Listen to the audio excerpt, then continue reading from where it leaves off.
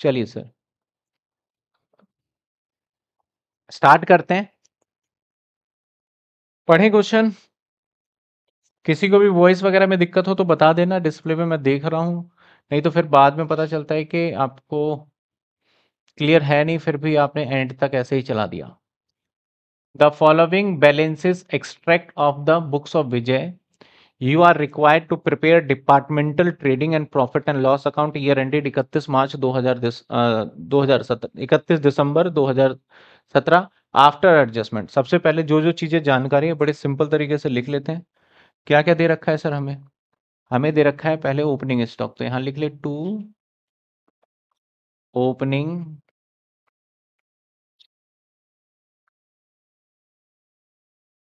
और sir opening stock कितना है? पचास हज़ार।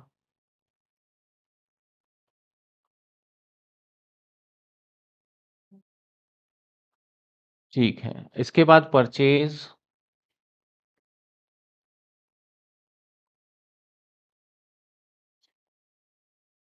छ लाख पचास हज़ार। नौ लाख दस हज़ार। इसके बाद सेल्स, आपको अच्छे से पता है, सेल्स सर बाय साइड में चला जाएगा। दस लाख और पंद्रह लाख। पंद्रह लाख। सर, मेरा ग्रुप चैट का ऑप्शन ओपन कर दीजिए। हर्ष ऑलरेडी ओपन होगा, बाकी मैं कल चेक करवाता हूँ, क्या इशू है। आगे देखते हैं। क्या क्या कहते हैं। कहता है general expense incurred both department एक लाख पच्चीस हज़ार which is divided into sales ratio तो जर्नल एक्सपेंस जो होता है, वो किसका पार्ट होता है? उस पार्ट होता है हमारा प्रॉफिट एंड लॉस का। तो यहाँ पे लिख ले general expense to general expense general expense कितने हो गए? रेशियो में बांटना पड़ेगा तो रेशियो जो निकलेगा वो दस पंद्रह का आ गया हमारा। और एक लाख पच्चीस हज़ार डिवाइडेड बाई पच्चीस इंटू में दस, पचास हज़ार और ये सेवेंटी फाइव ठीक है? आगे कहता है closing stock of department A यानी सर इसका क्लोजिंग स्टॉक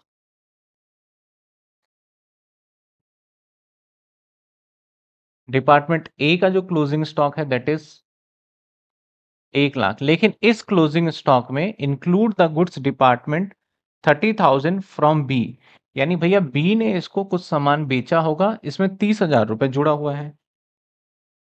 अच्छा। तो डिपार्टमेंट बी बीस हज़ार रुपए। यानी सिंपल सी बात है, जो हमारा ए का स्टॉक है क्लोजिंग का दैट इज़ कितना है हमारा? पचास हज़ार। पचास नहीं, एक लाख है भाई। ए का क्लोजिंग स्टॉक कितना? एक लाख। इसके अंदर ना, बीस हज़ार रुपए पता है किसका है? बी का है। तो इसमें अनरिलाइज प्रॉफिट निकालने के काम आएगा। सेम बी का जो स्टॉक है, वो बोलता है, हमारा है सर दो लाख। और इस दो लाख के स्टॉक में जुड़ा हुआ है कितने? तीस हज़ार, वो हम बाद में देख लेंगे स्टॉक रिज़र्व वाला पोर्शन यानी हमारा इसके ऊपर एडजस्टमेंट है। ठीक है?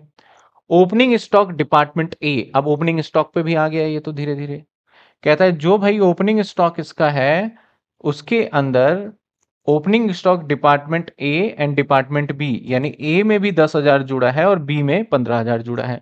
यानी सर, यहाँ पे भी स्टॉक रिज़र्व है। इसके अंदर कितना जुड़ा हुआ है ए वाले में? ए वाले का था वैसे हमारा पचास, जिसमें कि जुड़ा हुआ है कितना? दस ब्रैकेट में लिख लेता हूँ। और बी वाले का था कितना? चालीस, और इसमें कितना जुड़ा हुआ है? पंद्रह ब्रैकेट में लिख लिया एक समझने के लिए, फिर तो हम कर ही लेंगे, ठीक है? सर, साइड में ऑप्शन होगा चैट पर, उसमें क्लिक करो। अच्छा। तो बता रहे हैं चलिए। आगे क्या कहता है क्वेश्चन में? The gross profit on uniform the year. Uniform का मतलब क्या होता है? अगर मैंने बोला कि मेरा 10 परसेंट का ग्रॉस प्रॉफिट है तो 2023 में भी 10 रहेगा 2022 में पता है कितना होगा? 10 ही होगा। 2018 भी पूछूँगा तो कितना होगा? तो यूनिफॉर्म का मतलब होता है ग्रॉस प्रॉफिट में कोई चेंज ही नहीं हो रहा हमारा। तो सबसे पहले अगर हम जीपी रेशो निकाल लें, ठीक है, इसे मैं हटा देता हूँ, मैंने समझाने के लिए लिखा था तो हमें ग्रॉस प्रॉफिट पहले तो नॉर्मल क्वेश्चन कर लेते हैं, सर, यहाँ कितना आ जाएगा?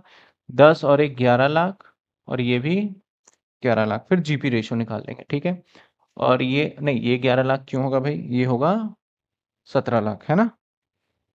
पंद्रह और दो, सत्रह लाख। तो ये हो गया ग्यारह लाख और ये हो गया सत्रह लाख। तो यहाँ पे क्या आएगा? टू ग्रॉस प्रॉफिट तो कितने हो गए? सात लाख। तो माइनस कर दोगे, ग्यारह में से सात गए तो चार लाख। सत्रह लाख में से आपके कितने माइनस हो जाएँगे? नौ पचास। तो कितने बचेंगे? सत्रह लाख में से माइनस सत्रह लाख में से नौ पचास, कितने? सात पचास। Seven point five lakh. ठीक है? अब ये ग्रॉस प्रॉफिट इधर आ जाएगा। चार लाख और सेवन पॉइंट फाइव लैख। अब यहाँ पे हम बड़े इजीली नेट प्रॉफिट निकाल पाएँगे, क्योंकि कुछ है ही नहीं। है कि नहीं? नीचे ही हम जनरल पी एंडल भी बना लेंगे। तो ये चार lakh seven point five lakh ये भी फोर लैख और ये सेवन पॉइंट फाइव लैख और टू साइड में आ जाएगा एनपी और एनपी कितना आ जाएगा? चार में से पचास जाएगा तो थ्री फिफ्टी और साढ़े सात में से सिक्स सेवेंटी फाइव अब नीचे कॉन्सोडोलेट बना लेते हैं ना?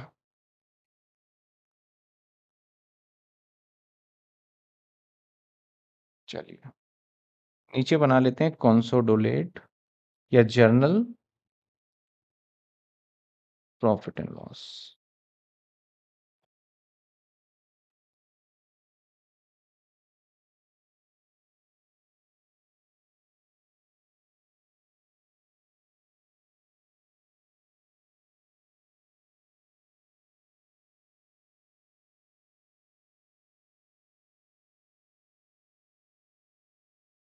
general profit and loss तो इधर बाय साइड में आ जाएगा बाय नेट प्रॉफिट ए का और बी का। ए का कितना है? थ्री फिफ्टी और बी का कितना है? सिक्स सेवेंटी फाइव टोटल कितने हो गए? सिक्स सेवेंटी फाइव टोटल हो गया दस लाख पच्चीस हज़ार। दस लाख पच्चीस हज़ार। समझ में आ रहा है यहाँ तक? यहाँ तक कोई दिक्कत है तो बताओ, फिर आगे की कहानी हम करेंगे आगे। ठीक है? अब हम ग्रॉस प्रॉफिट रेशियो निकाल लेते हैं। सर ग्रॉस प्रॉफिट किसका निकालोगे? GP ratio sir GP ratio किसका निकाल रहे हैं? पहले हम निकाल लेते हैं ए डिपार्टमेंट का। क्या होगा? ग्रॉस प्रॉफिट रेशियो कैसे निकलता है? जीपी अपॉन में सेल्स और इनटू में हंड्रेड ठीक है? यहाँ पे ये नहीं बताया क्वेश्चन में कि किसने किसको कितना ट्रांसफ़र किया। यहाँ पे बस ये बताया इसके स्टॉक में जुड़ा हुआ होगा।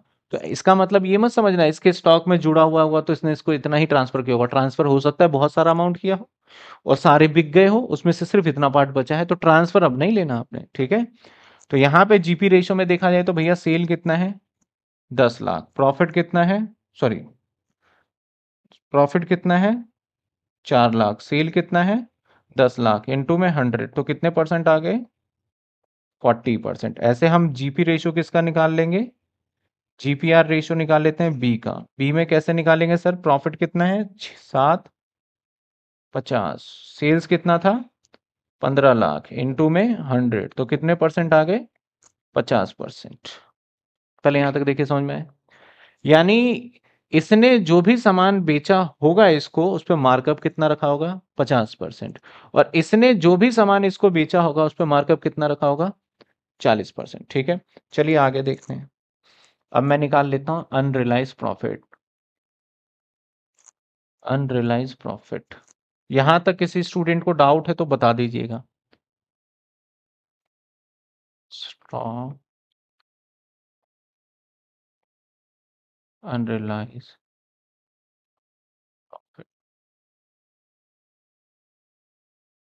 चलिए स्टॉक अनरिलाइज प्रॉफिट देखते हैं। सर, क्या है? हम पहले निकाल लेते हैं ए का, ठीक है? और ए का निकालते हैं पहले ओपनिंग स्टॉक तो ए में ओपनिंग स्टॉक कितना है सर? कहता है ए के ओपनिंग स्टॉक में दस हज़ार, यही था ना? दस हज़ार। और सर, दस हज़ार अगर हम निकालते हैं तो हमें यहाँ पे आप बताइएगा ए का जीपी रेशो अप्लाई करना पड़ेगा या बी का। कमेंट में बताइएगा सर ए का जी जीपी रेशो अप्लाई करना पड़ेगा बी का। सर जब, जैसे जब हम यहाँ लिखा हुआ होगा क्वेश्चन में तो उतने उसके ओपनिंग या क्लोजिंग में इंक्लूड है मतलब उसके स्टॉक रिज़र्व पक्का निकालेंगे। बिल्कुल सही, उसका स्टॉक रिज़र्व पक्का निकाला जाएगा। ठीक है? अब बताइए यहाँ पे। अब मुझे निकालना है स्टॉक रिज़र्व किसका? ए का। तो ए का ए के स्टॉक में जुड़ा हुआ है ना तो बेचा किसने होगा? बी ने। तो पैसा किसने कमाया होगा? तो बी का रेशियो अप्लाई होगा उस पर कौन सा रेशियो अप्लाई होगा? तो यहाँ पे आप कंफ्यूज मत होइएगा, सर, उसका तो चालीस था। यहाँ पे मैं क्या कर रहा हूँ? पचास, क्योंकि यही प्रॉफिट तो ये आ गया ओपनिंग पे कितना? पाँच हज़ार। अब इसके क्लोजिंग पे निकाल लेते हैं। क्लोजिंग स्टॉक सर, मुझे याद है इसका कितना था? बीस हज़ार। इस पे भी पचास परसेंट। तो दैट इज़ दस हज़ार, ठीक है? ये समझ में आया यहाँ तक? चलिए, अब ऐसे ही निकाल लेते हैं हम किसका? बी वाले का। बी वाले का ओपनिंग स्टॉक मुझे याद है तो मैं लिख देता हूँ, बाकी पीछे पता था आपको कितने थे? पंद्रह हज़ार। इस पर कितना रेट अप्लाई होगा? फोर्टी परसेंट इस क्वेश्चन में यही सीख रहे हैं हम बेसिकली अभी तक जितने भी क्वेश्चन करे थे, उसमें सब में नहीं था। उसमें क्या था? सिर्फ़ क्लोजिंग क्लोजिंग पे था। और आपको रेट भी दे रखा। तो यहाँ पे हमने रेट भी निकाला और कौन सा रेट कैसे अप्लाई होगा, वो भी सीख रहे हैं इस क्वेश्चन में, ठीक है? तो इसके बाद देखा जाए तो कितने हो जाएँगे? छह हज़ार। ऐसे किस पे निकालेंगे हम? क्लोजिंग क्लोजिंग स्टॉक पे अनरिलाइज प्रॉफिट सर, कितना था closing stock I think I think दो लाख। दो लाख पे चालीस बटे में सौ, फोर्टी परसेंट यानी अस्सी हज़ार। चलिए, ओपनिंग स्टॉक का जो स्टॉक रिज़र्व है, इधर आ जाएगा और क्लोजिंग स्टॉक का इधर आ जाएगा। रिज़र्व कह रहे हो या अनरिलाइज प्रॉफिट प्रॉफिट किसका सर? ओपनिंग स्टॉक सॉरी दो डिपार्टमेंट है ना ए का और बी का। तो क्लोजिंग का आएगा। ये किस पे आएगा हमारा? क्लोजिंग स्टॉक पे, क्योंकि इधर वाला इधर आता है, ठीक है? तो क्लोजिंग स्टॉक का हज़ार और दस हज़ार और अस्सी हज़ार। तो ये आ गया दस हज़ार और ये आ गया अस्सी हज़ार। दैट इज़ कितने आ गए? नब्बे हज़ार। समझ में आया? और ओपनिंग स्टॉक का इधर आ जाएगा बाय अनरिलाइज प्रॉफिट किसका? सर ए का और बी का। तो ओपनिंग स्टॉक में अगर ध्यान से देखें तो ओपनिंग स्टॉक में कितना है? पाँच हज़ार और छह हज़ार। तो ये आ गया पाँच हज़ार और ये छह हज़ार। तो टोटल कितने आ गए? ग्यारह हज़ार। और नेट भी करके आप लिख सकते हो, ऐसा नहीं कि आपको ऐसे ही लिखना है। अरे, ये इतना ऊपर कैसे चले गया? अच्छा वो मैंने जब इसको सेट किया था, इसलिए ऊपर चला गया। चलो। ठीक है? अब बस टोटल का प्रोसेस है। यानी सर, दस लाख पच्चीस हज़ार प्लस ग्यारह हज़ार तो कितने हो जाएँगे? दस लाख छत्तीस हज़ार, है ना? दस लाख छत्तीस हज़ार, और इसमें से माइनस करोगे तो क्या आ जाएगा? To net profit. दस लाख छत्तीस हज़ार माइनस नब्बे हज़ार, नौ छियालीस। और ये आ गया हमारा दस चौदह क्यों आ रहा है? पाँच हज़ार छः हज़ार, साढ़े तीन, पिछहत्तर सौ।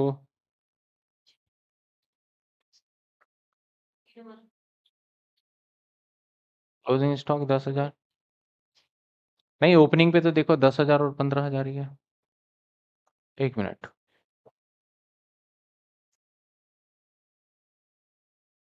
ओके। क्लोजिंग स्टॉक यहाँ गलती हो गई, बीस हज़ार रख दिया मैंने। क्लोजिंग स्टॉक बीस हज़ार नहीं था नहीं था तो बीस ही। नहीं, इसमें बीस नहीं था। बीस ही था। और यहाँ ये गड़बड़ हो गया, ये गड़बड़ हो गया। यहाँ था तीस हज़ार। ठीक है, मैं वही कहूँ, यहाँ इतना कैसा है? ये गड़बड़ हो गया। चेक करो। क्लोजिंग में यहाँ बीस है और यहाँ तीस है, ये गड़बड़ हो गया। तीस हज़ार का फोर्टी परसेंट, बारह हज़ार आएगा ये। तो इधर आ जाएगा हमारा, बस यहाँ चेंज होगा, ज़्यादा चेंजेस नहीं है। अस्सी की जगह पे क्या हो जाएगा? बारह हज़ार। और नब्बे की जगह पे हो जाएगा? बत्तीस हज़ार। और यहाँ, अब ये तो सेम ही रहेगा। ये चेंज हो जाएगा। क्या आ जाएगा दस लाख छत्तीस हज़ार माइनस में दस one double zero four thousand. ये आ गया हमारा वन डबल ज़ीरो आ रहा है अभी भी। ये हो सकता है यहाँ पे एरर हो, दस लाख चौदह हज़ार ठीक है?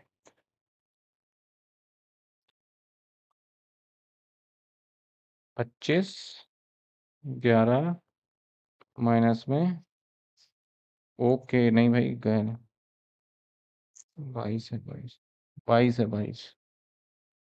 बाईस है भाई ये अब ठीक है, बिल्कुल ठीक आंसर आंसर में कोई गड़बड़ी नहीं है। दस लाख। ठीक है तो सर इस क्वेश्चन में वही सीखा हमने कि ओपनिंग स्टॉक में भी जुड़ा हो सकता है और क्लोजिंग स्टॉक में। अगला क्वेश्चन जो सीखेंगे ना, स्टॉक के भी काफ़ी सारे कैटेगरी हैं, तीन कैटेगरी हैं स्टॉक के बेसिकली। कौन कौन से तीन कैटेगरी हैं? हमारा हो सकता है रॉ मटेरियल, हमारा हो सकता है फिनिश गुड्स और हमारा हो सकता है आपका पी जिसे वर्क इन प्रोग्रेस भी बोलते हैं। तो इन तीनों में किसी ना किसी तरीके से हो सकता है जुड़ा हो। तो ये था क्वेश्चन इसको नोट करिए, फिर एक बार बुक दिखाइए बुक से भी देख लेते हैं। बुक से हमने चार तक क्वेश्चन कर लिए थे ना? और फोर्थ नहीं किया था शायद।